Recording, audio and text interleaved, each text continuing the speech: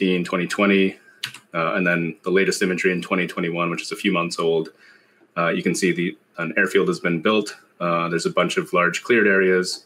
Uh, there's the beginning of a port, um, and so just significant. Get this going here. Typical data sources. Second here. Uh, then we're going to zoom into our development that uh, would make it hard to generate a terrain that's accurate to this type of area without uh, automated extraction, uh, just because our typical data sources don't hold all this info for us. Okay, so now I will jump into the demonstration. I'll just get this going here.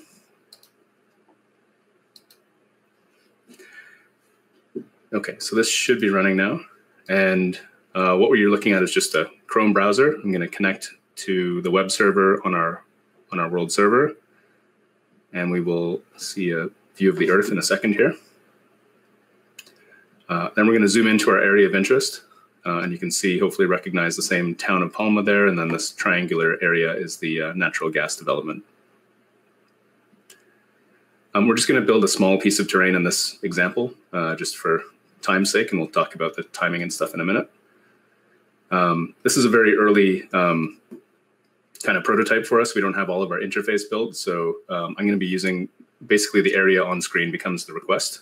And we can go down and select uh, this pre-configured LuxCarta process. And when I hit confirm, it's going to fire off that entire automated process that we just talked about. Uh, we don't have a progress bar yet. So what I'm going to actually do once that goes is just show you kind of the internals quickly here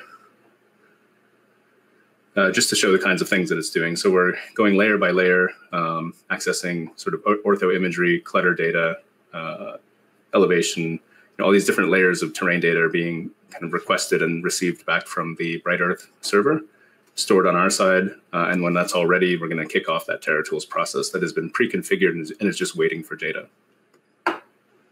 So here it comes back. We have a preview of the data that was sent. In the background, it's actually running in Terra TerraTools. But what I can do now is just kind of show you uh, the data just for a kind of inspection. So you can see in white are all the buildings, and then uh, the green areas are the vegetation. Excuse me.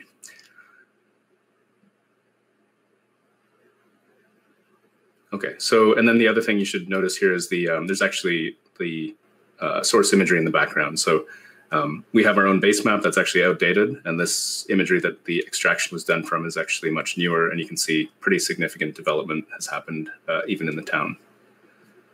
Uh, so again, working from the most recent data certainly helps us uh, generate a, a useful and, and, representational terrain for the location.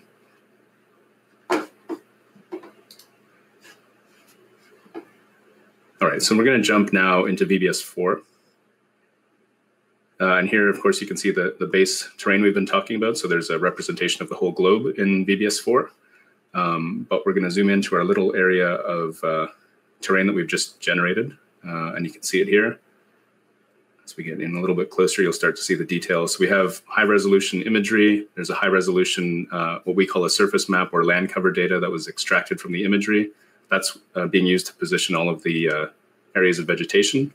And we'll just come in and take a close look at that. Uh, so again, you know, Pete talked about this. The um, this part of Africa is pre-configured to have a certain type of vegetation in VBS4. I didn't have to do anything except say, you know, an area should be a forest, uh, and it takes care of kind of filling in the detail. Uh, and as you've noticed there, of course, we have a building for every one of the footprints provided. We've generated a building. We've automatically and randomly assigned appropriate types of textures and, and surfaces for those. Um, and then we've also added in uh, a road, and along the road, we've automatically or procedurally just generated um, some uh, uh, utility poles and some lights. Um, so now what I'm actually going to do, so this was kind of the live kind of generation portion. Um, what I'm going to do is unload this data, and I can do that just by going to the server and actually removing some files. Uh, much easier than VBS3 and VBS4, we actually have kind of a live data concept for the terrain server. Uh, and what we're going to do now is actually load in the full area that we built for this this test, and it's um, you know rather than a uh, just a number of minutes or however long that that took to uh, just show that small tile, we're going to bring in um, uh, roughly a 30 by 30 kilometer area that took about two hours or three hours to build. Uh, and we're going to do this layer by layer. So when it was published by the server, of course, all the layers came in together. Uh, in this case, just to kind of walk you through it, we're going to bring in uh, each layer separately. So this first layer I'm bringing in is actually the um, surface map, uh, as we call it, or land cover data. And again, that's controlling where the dirt areas and grass and trees should should be placed. Uh, and I'll just come in close to the ground level here, and you can see uh, just how detailed this is. Again, kind of harping on the point that the uh, the vegetation base globe uh, biome system is is uh, richly detailed and uh, saves us a lot of time when we're building terrain. and it's it's also worth pointing out that in the next step, we're going to show imagery, but we don't even have to bring in imagery. I mean, this type of terrain can be good enough already for training. Um, we'll talk about buildings and the other features next, um, but imagery is actually optional. So you can bring in high-res imagery if you have it. It makes sense to use it a lot of the time, uh, but you don't have to. So here that's coming in now. This is our 50 centimeter imagery. Uh, and you can see, obviously, there's certain details that start to show that can be important, like the airfield surface uh, and other kinds of uh, recognizable uh, features in the terrain, and we'll just come back down to ground level again and compare that to uh, the purely procedural approach before. Okay. So now the next step we're going to take is we're going to bring in the same type of layers again, but this is going to be lower resolution data and it's going to fill in our area of interest. So this is our high detail area of focus, uh, but there's still a larger area of 30 by 30 kilometers that we want to fill in so it kind of completes our, our play box. And that's what I'll do now is bring in the surface map for that larger area. This is lower resolution data that was produced much faster. Uh, and you can see it sort of meshes right in with that irregular shape of our uh, high detail area. You can see there's sort of a salt marsh and the different kinds of land features become much more clear this way. And finally, same thing with imagery. So 10 meter resolution imagery, uh, it blends right into the high resolution imagery and uh, works perfectly fine when, when viewed at a distance.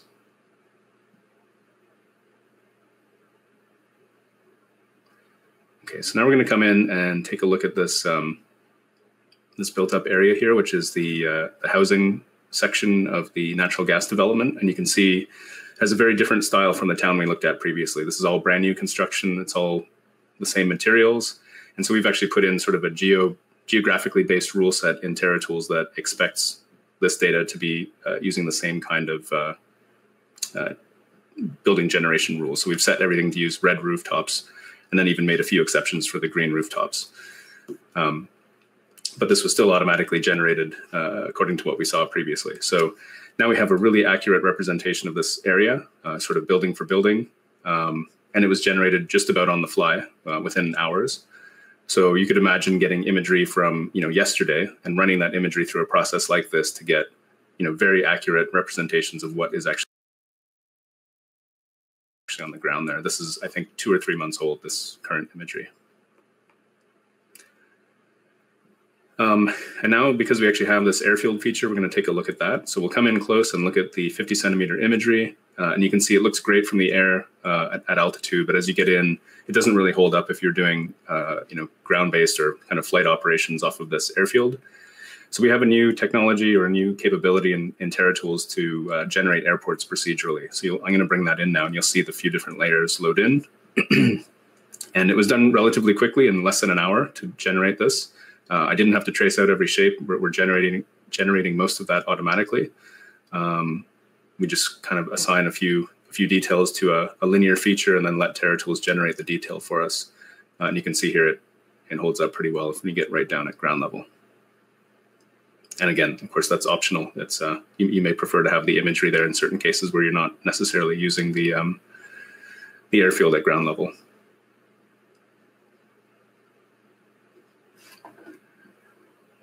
All right, so now we're going to come back into the town and just take another look over here. Um, one of the things that we did here, just it's kind of a relatively quick uh, process, but the I talked about the procedural um, uh, utility poles, just kind of a common thing to do. We don't have that in the geodata. We've just assumed that near roads and uh, uh settlements, there's going to be a certain number of these, and for every so many of them, we've assigned uh, it to be a a light source. You can see the uh, the light bulb on the pole there. And as we change the time, just to show this again, I know Pete showed a little bit of this already, but we can change it to nighttime. And we'll just let the, there's actually an eye adaptation kind of feature happening here where the, uh, so as if our eyes are adapting to the, the quick change in light. We'll just let it change over the next few seconds here. And you can see um, the light posts, or a certain number of the utility poles have lights on them and are casting light on the ground. Um, and we'll just move the camera here in a second. And you can see uh, the town is kind of lit up now. So this is just kind of a really quick uh, example of what we can do now with lighting in VBS4, which is looks really, really nice compared to uh, VBS3 wasn't bad, but um, I think we've made some pretty big improvements here. And we'll just switch things back now. Back to daytime. And yeah, so I mean, this terrain is now you know completely ready for simulation. So the roads, AI can follow the roads. They can move between the buildings. Uh, we talked about the biome vegetation. That's you can fully interact with that. You can destroy those trees. AI can navigate around them. And uh, so just really quickly here, we're just going to do a kind of a quick tour of the, terrain at sunset here to show the, show off some of the air, airfield details and, and some other things. Yeah, th- thanks, all. It, it's a fantastic demonstration. And so just to confirm, like, first off, there was no hand editing of anything. Is that correct? You're all kind of doing this in, in a separate tool set, right? Yeah, that's right. So, so there was a configuration step to get the TerraTools project to understand the type of data that would be coming from LuxCarta. But now that that's set up, I could give that to you and you could use this without any hand editing. You could just hit your browser, choose an area to be built, and you would get something you know similar to what I have here. Right, and, and and it sounded like you were talking about hours, not days, in terms of timeline. I mean, and really, it just depends on the size of the data. Obviously, you need to do some processing. Is that correct? Yeah, exactly. So this the terrain that we're looking at here was a matter of hours of, yeah, of processing time once uh, once I hit go on the web browser. Right. Yeah. So we're about to start answering questions, but I, I mean, I just want to finish up and just say two things, Earl, while that kind of runs in the background. So the first thing is that um, we are building uh, a product around the world server that we'll be announcing later in the year, um, probably. Uh, so, yes, you have the world server that gets shipped with VBS uh, 4 and VBS Blue IG, but it's part of a larger framework uh, for doing more enterprise terrain management. And that's what you're going um, to, to, see us uh, talking a lot more about later in the year. Um, I don't want to spoil too much now, but uh, it's really exciting the kind of capability we're going to be offering, uh, and not just specific to the VBS engine, right? So I, I want to make that really clear. One of the reasons we kept TerraSim separate is so they could work with multiple engines. Um, they're quite agnostic in their approach. Uh, okay, so um, that's the end of today's presentation. I'm about to start answering questions. Um, we have a, a, another session tomorrow where we will be uh, looking at 21.1. Earl will be back uh, doing some VBS geo editing and making that terrain come alive. Uh, and I'll be going through some of the key features in 21.1 at tomorrow's session. So please do come back. So I'm not going to be offended if you drop off now, but I do intend to start to um, walk through some of these questions. I mean, Ollie, if you're three to VBS four open flight as uh, and we can simulate things like um, to six